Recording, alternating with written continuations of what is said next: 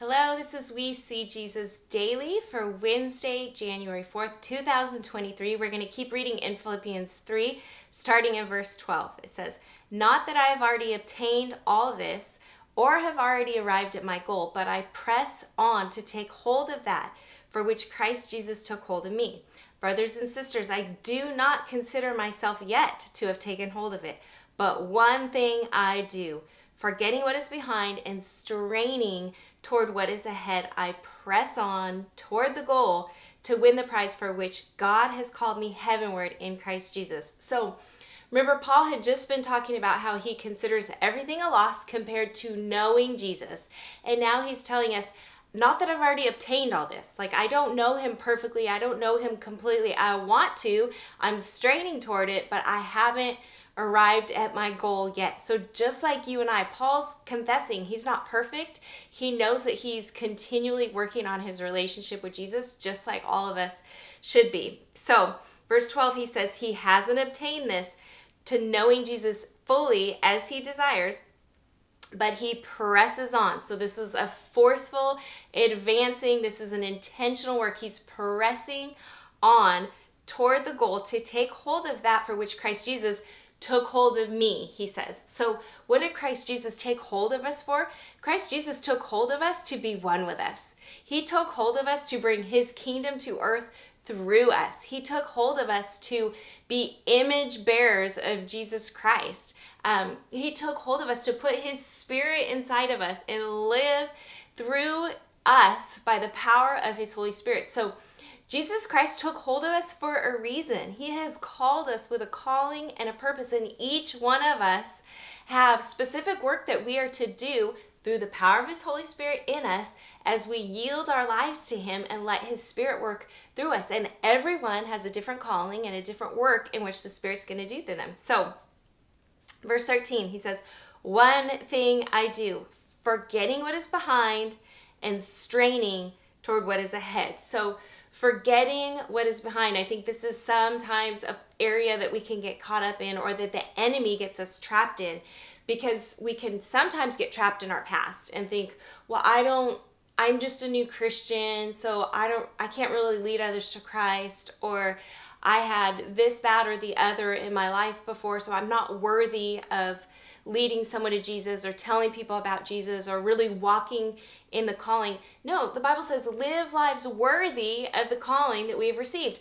Based nothing on our past. It has nothing to do with who we were before Jesus. The old is gone, the new has come. We are a new creation in Christ. When we receive Jesus as our Lord and our Savior, we are a new creation. So now Jesus tells us who we are in Him. We're defined by what His Word says about us. We're His children, we're heirs of all that is His.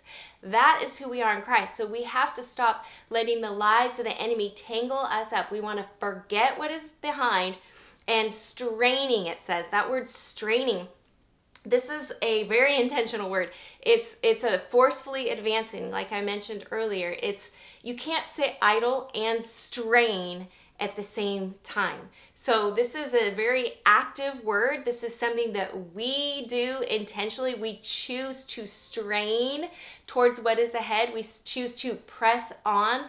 It's a choice. We can sit idle and and do nothing and not take up our cross and not follow Jesus and not walk in the calling of which He created us for, or we can strain towards what's ahead. And again, I love this language because Paul's reminding us and showing us this isn't easy. The work of Jesus Christ isn't ever told to us that it would be easy. Jesus himself said, In this world you will have trouble. But we could be encouraged. We could be, take heart because Jesus overcame the world. So we walk in his overcoming power and therefore we are overcomers. Verse 14, he says, I press on toward the goal to win the prize for which God has called me heavenward in Christ Jesus. So Jesus is our goal. He is our prize. He is what we are living this life for. He is what we are giving up our lives for is for Jesus. He's the goal. He's the prize. He's our treasure. He is our reward. Um, and we get to co-labor with him and that's part of the reward on earth you know jesus came to give us life abundantly for all of eternity, but also for right now on earth. He wants us to have abundant lives right now on earth, but we can only do that by partnering with the power of the Holy Spirit, by co laboring with Jesus to bring his kingdom to earth. If we continue to live for ourselves or continue to live stuck in our past, we will not live abundant lives in Christ. We have to yield to Him. We have to put our lives up under Him in order to co labor with Him, in order to bring His kingdom to earth, and in order to fulfill the calling for which He created us. So, we live for Jesus right now, but we get to live with Him for all of eternity. So, there's a reward in both. Right now, we get the reward of living for Jesus. We get the pleasure of walking with Him and learning about Him and doing life with Him on earth.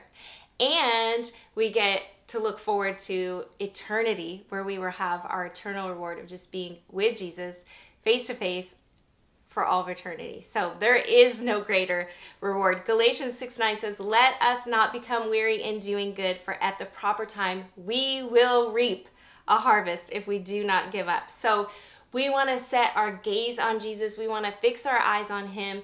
We want to willingly give up our lives. It's our joy and it's our pleasure. He gave up His life for us, so we get to give up our lives. We get to press on towards which He's called us. So let's pray.